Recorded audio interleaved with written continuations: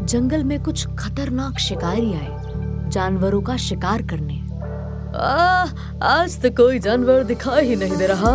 खोजते रहो कोई ना कोई जानवर ज़रूर दिखेगा।